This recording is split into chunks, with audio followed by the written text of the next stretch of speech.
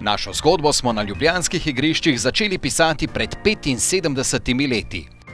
Spisali smo veliko uspešnih poglavij, del naše zgodbe pa so zmaji, ki so postali legende. Legende o parketu.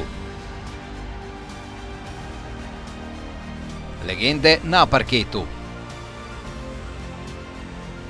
Vedno smo bili na vrhu in v ospredju. Naša preteklost je slavna. Naša sedanjost je zmagovalna.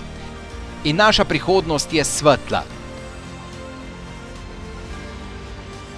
Letos bomo skupaj praznovali 75 let košarkarskega kluba Cedevita Olimpija.